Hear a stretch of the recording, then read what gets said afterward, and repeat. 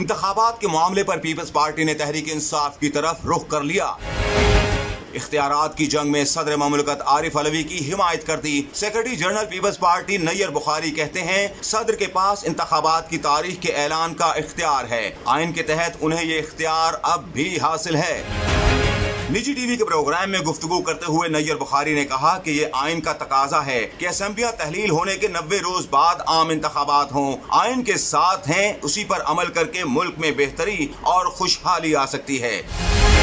پی پی رہنما کا کہنا تھا کہ انتخابات میں جتنی تاخیر ہوگی، اس کا کوئی حاصل حصول نہیں ہوگا۔ قومی اسمبلی مدت پوری کر لیتی تو صدر کے پاس انتخابات کی تاریخ دینے کا اختیار نہ ہوتا۔ لیکن اسمبلی صدر نے تحلیل کی، اس لیے لازمی تھا وہ انتخابات کی تاریخ بھی ساتھ دیتے۔